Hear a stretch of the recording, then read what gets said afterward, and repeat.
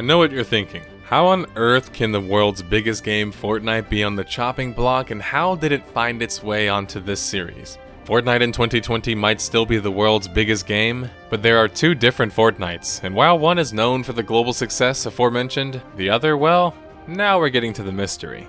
Fortnite originally was set to be a cooperative tower defense slash build and shoot 'em up title for the PC only. It quickly evolved into much more until in 2017 when Epic Games launched the Battle Royale game mode, and the rest is history.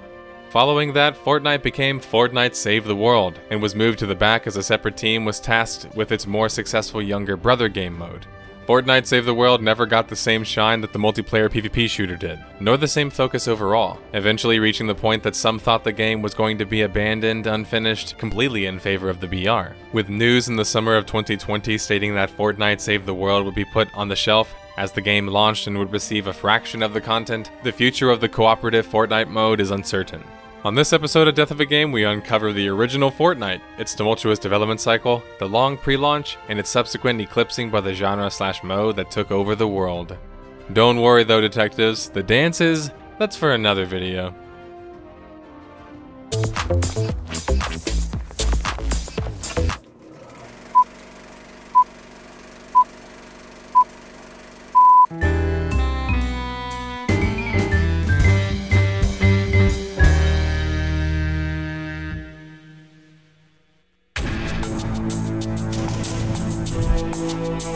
Normally on the death of a game, we start at the very beginning of the story. Epic Games as a company, however, has had a history that spans back nearly 30 years. In an effort to keep this video shorter and to the point, I'm going to start at the inception of the idea and the game that we know today as Fortnite.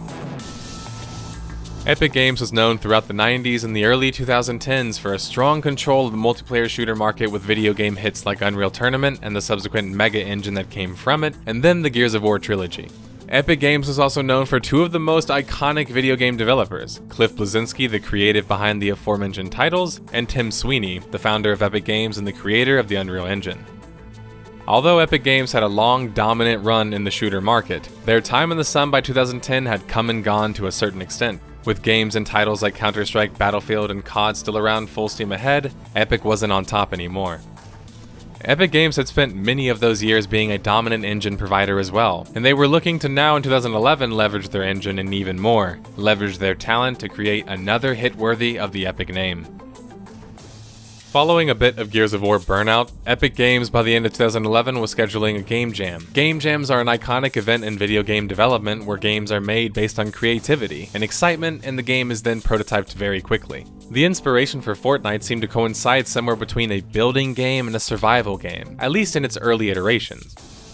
As producer Roger Collum put it, Minecraft slash Terraria were the peanut butter and something like Gears of War was the chocolate. Typically, these two hadn't been mixed together. As Roger Collum explains, no single title had covered all of these aspects outlined in a game.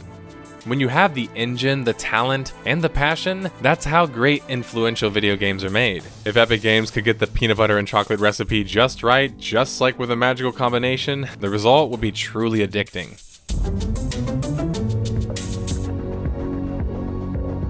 Cliff Bleszinski, who was taking a break from game development at the time, had packed up his Gears of War bags and was already working on the next potential big Epic Games project, Fortnite.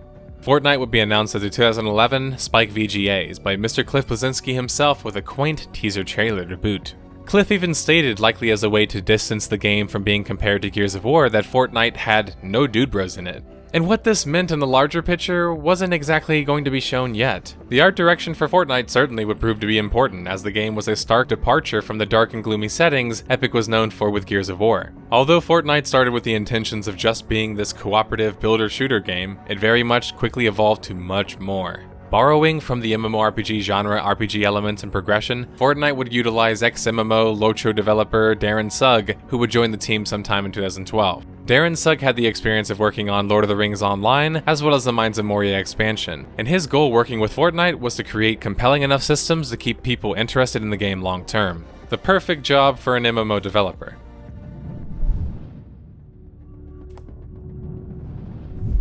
Fortnite didn't have the most typical development cycle so far, and things would get even more complicated in June of 2012 when mega publisher of League of Legends fame, Tencent, would acquire a minority interest in Epic Games. This prompted Rod Ferguson and more to promptly leave the company. Rod would later admit that had he stayed, he very likely would have cancelled Fortnite at this time. Epic Games selling a minority stake in their company seems inconsequential, but it opens up the door for a larger takeover at a later date. Tencent was interested in Epic Games, who was interested in scaling up in more ways than one, so they could help each other. A month following the news of the involvement of Tencent came news in July of 2012 that Epic Games wouldn't just be developing Fortnite as a game, but be developing it with their brand new engine, Unreal Engine 4. How exactly this would complicate things is hard to quantify. But since Fortnite started in Unreal 3, porting over to another engine in the middle of development is never a positive regarding potential roadblocks and logistical issues. Epic Games, however, wanted to make sure that Fortnite wasn't just going to be a special game, it was going to be the first special game to utilize the new Unreal Engine 4. The added bonus of using Fortnite, if successful for Unreal Engine 4, means that it effectively would be a live test environment of sorts for new features, systems, and engine aspects. Unreal Engine 4 tech is and was impressive. Everything in Fortnite, for example, was destructible by your pickaxe. The destructibility of all assets in the game were a key aspect of the game and the engine. This would have the bonus effects of positively affecting potentially other future games in development for Epic Games, or other games who decided to use the Unreal Engine 4. Porting Fortnite to Unreal Engine 4 from Unreal Engine 3 couldn't have been easy, considering this port process has historically been very difficult and not very successful. Epic Games on hit Bulletstorm had worked with the cult classic Painkiller famed developer People Can Fly. They would yet again team up with Epic to work on Fortnite, although for some strange reason we don't have the most clear marking of who did what. The interview done with Game Informer has the Fortnite producer Roger Collum explaining that the Fortnite team existed of 110 devs, the bulk of which were the team from People Can Fly. Following their acquisition by Epic Games, People Can Fly would lose three of its leading creative and executive talents. Now, this isn't out of the ordinary following acquisitions, depending on the kind of acquisition, but to leave the company following the acquisition so abruptly usually means that something was amuck.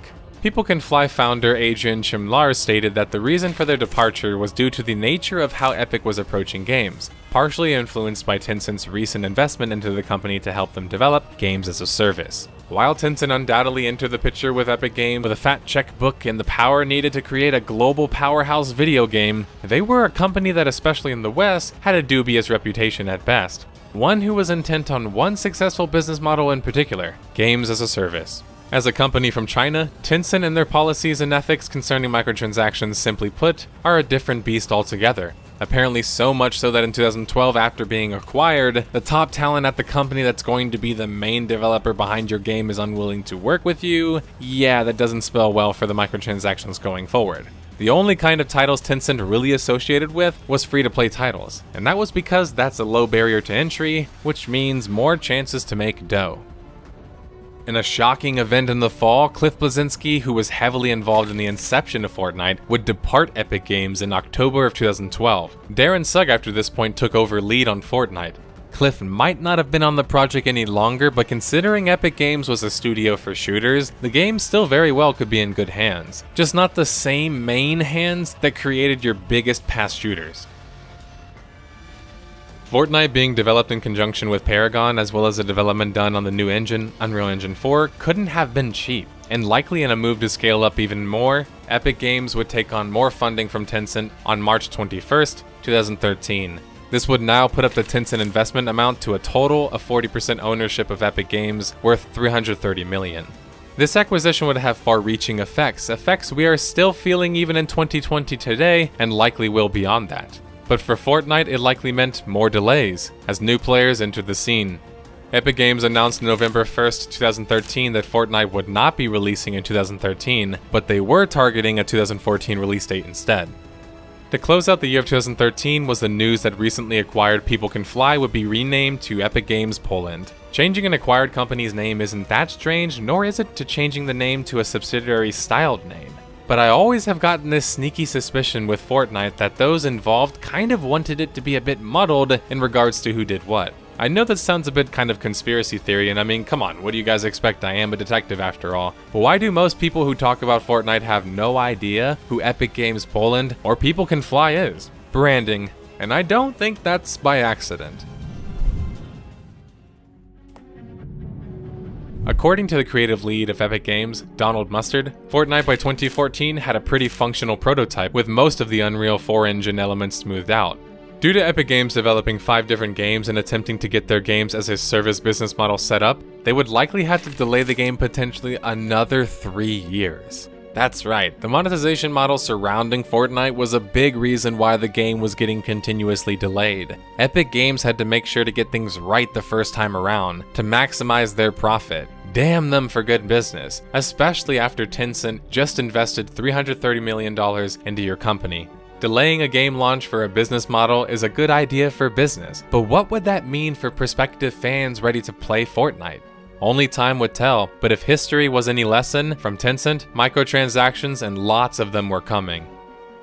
More details would be trickled out 2014. Epic Games would state that Fortnite will throw players into unscripted events. The game features an RPG-like progression system and Diablo-like looting. Alpha signups were also opened up at the same time.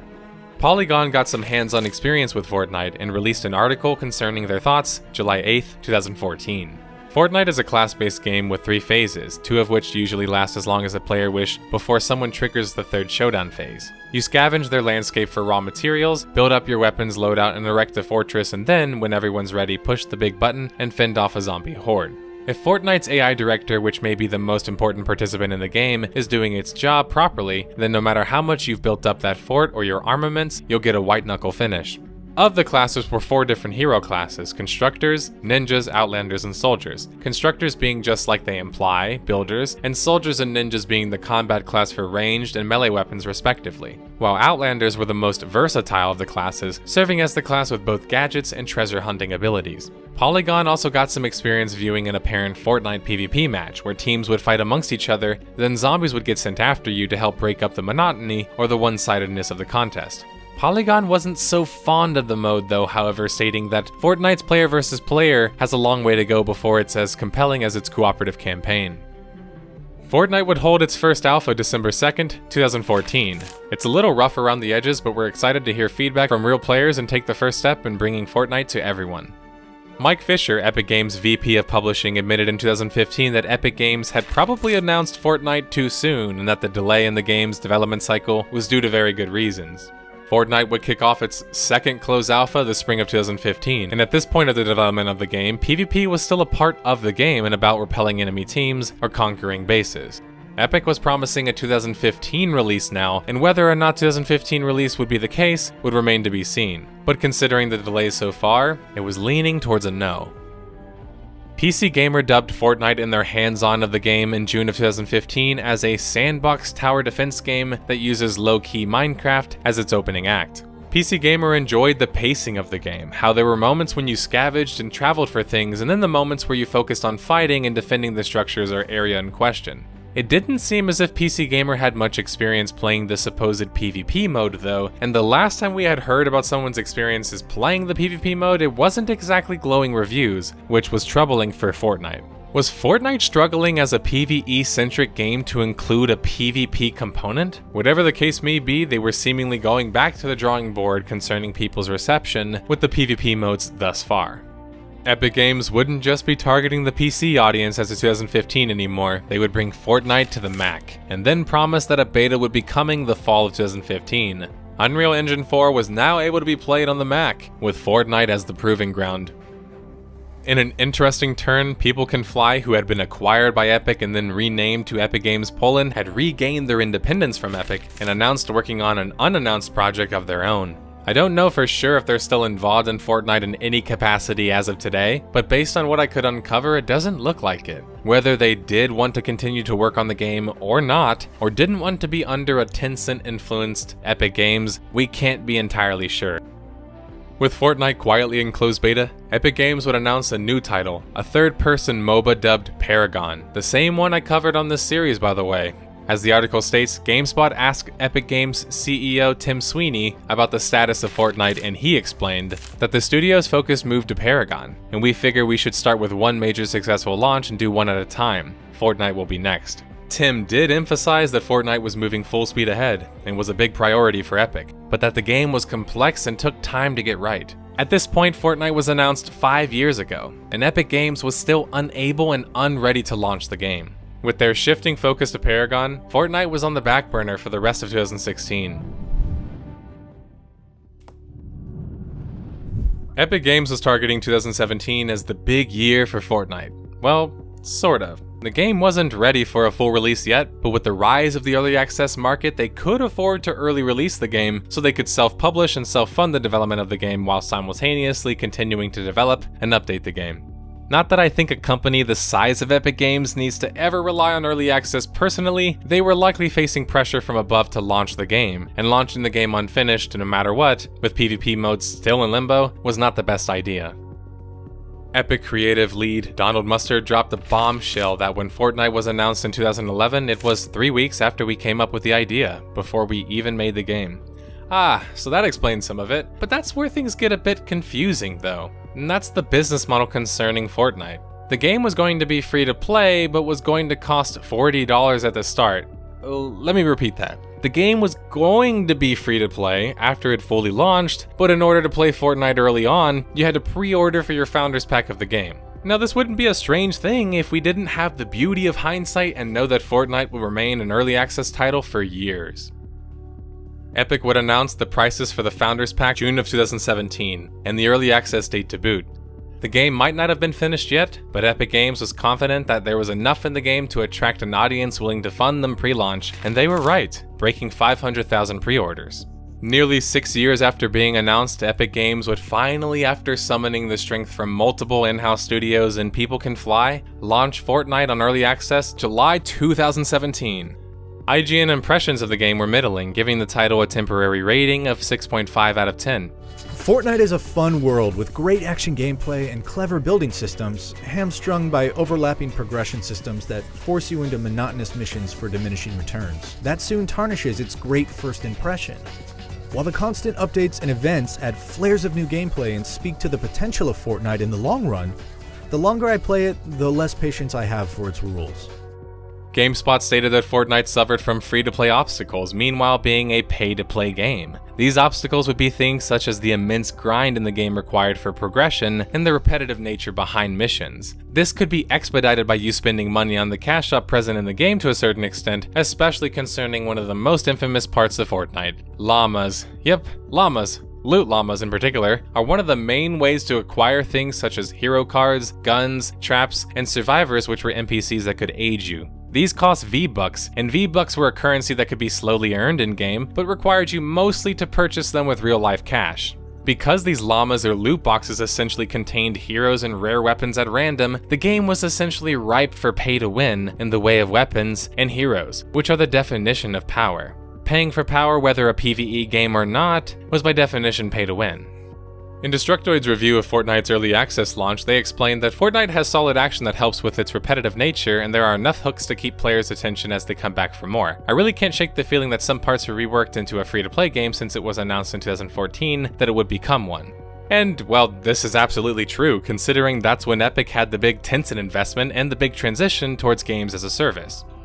All of the reviewers I mentioned before, while highlighting the obvious unfinished aspects of Fortnite, an early access title, were positive mostly concerning the game. Not quite the response Epic was writing on, however, especially considering Paragon wasn't on the best trajectory at the time either. Had Epic Games made an insanely expensive mistake concerning Fortnite? Now, the game was doing fine by any normal game standards, but with all of the expectations and weight on the game, it was going to have to do much better than that. Fortnite would eclipse 1 million players by August 18, 2017. Not quite Overwatch numbers, but for a paid early access, these numbers weren't bad.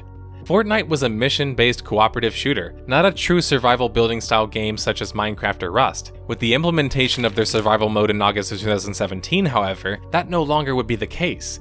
The survival mode, which is arguably one of the best features of the game in my eyes, was the mode that you would construct a base in and then would have to defend the base for between 3 to 14 in-game days. The longer you would survive, the better the rewards. More modes were planned for Fortnite as the game continued to evolve in early access.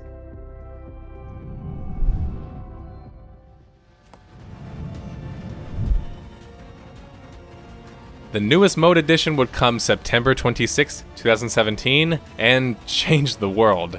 Fortnite BR, which as explained later on in a Rolling Stone interview, was in development since the early access launch of Fortnite. The Epic Unreal Tournament team, another game for another video speaking of which, had been tasked with the Fortnite BR. But two weeks before the BR launch on the 26th, Epic Game Studio heads changed their mind concerning the mode. They instead thought it would be better released as a separate mode, which would then take the PvP portion of Fortnite out of the paid realm of the game and enter the free-to-play realm. Fortnite BR would be free to play. This move might have been one of the most pivotal moves for Fortnite's massive success. This not only meant that PvP and PvE modes were separated by a price tag, it also meant that they were now going to have to separate the two by name. Fortnite became Fortnite Save the World, and Fortnite BR just simply became Fortnite. This move was apparently effective enough to even get me involved as I heard about the new epic multiplayer shooter. But we won't be covering the trajectory of the Fortnite multiplayer shooter from this point on, only when it's related to the story of the main topic at hand which is Fortnite Save the World, the PvE portion of the game. Fortnite in regards to a Death of a Game series might as well be the Grim Reaper at this point though. As 2018 came into the picture, Fortnite Save the World was quietly chugging ahead with success. Meanwhile, Fortnite BR in a mere month had become the world's largest BR.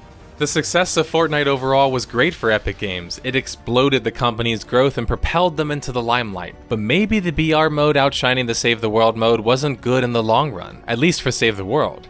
BR content was player driven. A hundred players spawned and then dynamically having content created amongst each other and then experiencing this content, that's going to be a lot more repeatable than PvE content, which although it is more dynamic in a game like Fortnite Save the World because of the procedurally generated maps, was inherently more expensive to create because it required things such as voice actors, cutscenes, writers, a storyline, and ultimately the missions and the content itself.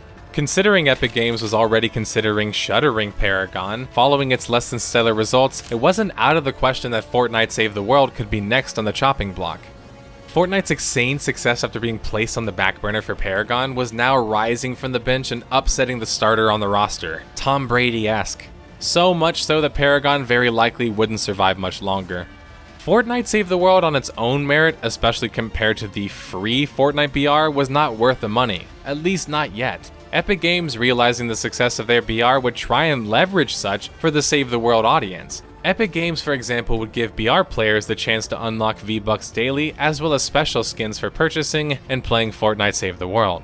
Epic tried to acknowledge the worried fans, though, as updates and communication for Fortnite Save the World had certainly diminished, assuring them that more updates were indeed planned and a roadmap was on the table. By the spring of 2018, Fortnite Save the World, although still being updated, simply wasn't getting the same rub anymore from Epic Games. But to reassure people, the head of Fortnite Publishing, Ed Zobrist, stated that, I'm happy to state that retention is high. Here we are over six months later, and our audience is larger now than it's ever been for Save the World, not just for the Battle Royale. So according to Epic, things were going just fine. Fortnite originally was targeted at being a PvE horde tower defense style game, but with the insane success of Fortnite BR, the PvE side of things was becoming more and more neglected. Fortnite fans were wondering, was the BR mode going to continue to eclipse Fortnite Save the World until eventually there was nothing left, especially because of the bugs, balancing issues, and lack of content in the game? The complaints about Fortnite STW were fair considering that in 2018 it still cost a box price meanwhile the BR component was free. This wouldn't have been as big of an issue unless, as I mentioned before, Fortnite Save the World was designed to make money from microtransactions, aka designed as a free-to-play title. The free-to-play launch was targeted for 2018, but news came in October of 2018 that the launch would be delayed. Save the World has grown consistently since our launch in July of 2017, and Fortnite overall has experienced unprecedented growth, so we're taking the time to get this right. Epic Games wouldn't give up support on Fortnite Save the World yet though, which at this point would always at least get some trickle or crossover from the BR audience, for the rewards especially. Big changes were planned for the end of 2018 for Fortnite Save the World. Epic set it out with a lot of goals. It wants the UI to be easier to understand and navigate, while leaving room to grow. It also wants the front end to have more life and character. To that end, it's created a new home-based menu staffed by characters players meet during the campaign. Fortnite Save the World would come under fire though in the spring of 2019, as they were sued concerning the predatory loot llamas. Epic would then end blind draw loot boxes, allowing players to show the contents within. Two years later, though, the money had already been made, and a lot of it. This probably didn't make Tencent very happy to continue to support Save the World, though. Fortnite Save the World was promised another free to play launch in July of 2019, but that also, for the fourth time now, would never come. Jumping forward roughly a year, and well, the story has been full of twists and turns, and to complete that tradition came a final twist that inevitably led to Fortnite Save the World being put on the back burner. According to The Verge, after the success of Fortnite's free to play Battle Royale mode, Epic had planned to make Save the World similarly free, but with today's announcement, it seems those plans have changed as it slows down development on Save the World instead, remaining pay to play and another cherry on top of it all. In the same day, Epic Games had both launched and sort of stopped supporting the game at the same time. Fortnite Save the World might have been the quieter, older brother to the more successful younger Fortnite BR, but it still managed to hold a cult audience of loyal fans. Those who still believed in the original vision brought forth by Epic Games concerning the game.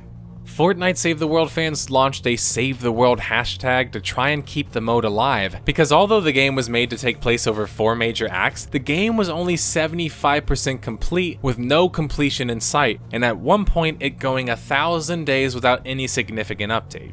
Unfortunately, as of August 2020, this seems to have fallen on deaf ears. What use though does Epic have to continue to pump money into something that's clearly less successful? Especially when a large complaint since the inception of the game has always been the game's complexity. UIs and menus had been problematic in Fortnite Save the World since the beginning, because it wasn't a typical shooter formula. It was basically closer to Destiny or Diablo than Rust, or even an MMO by design. This wasn't particularly appealing to a younger Fortnite BR audience, and the game was even more complicated for older, more seasoned gamers. As it stands, Fortnite Save the World will likely suffer the fate of fading into obscurity as it struggles to gain new players and even hold existing ones. The fact that Fortnite Save the World was playable for a number of years while being unfinished meant that it burnt out a number of players who might have originally tried the title out, but weren't going to go back again and try it later. The BR portion being playable early on isn't as big as a problem because the content is PvP, which inherently has better replayability. No matter how different an area is generated by the tech behind Fortnite, most missions just end up being locating an object, building up fortifications, and defending the area from husks. Rinse and repeat, and rinse and repeat, and rinse and repeat.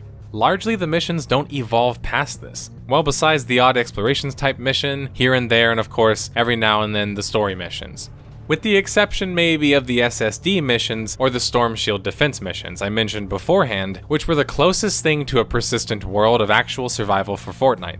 Long-term exposure cooped with a slow content trickle and repetitive content to boot, well that has poor player retention written all over it.